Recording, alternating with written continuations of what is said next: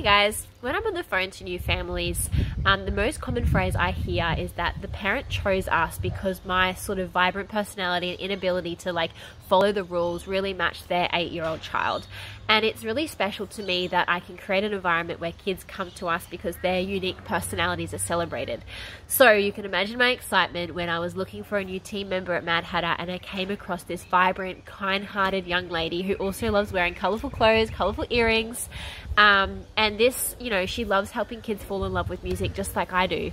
So in this video, I just want to welcome you to our newest team member, Miss Tiahn. She is going to come on as our second piano teacher and she's also the head of events. So if you attended our latest um, Pirates and Princesses party, that was all thanks to Tiahn. So in this video, I welcome you to her. I always knew that Mad Hatter was quirky and fun and I love how the music making approach is a lot more creative.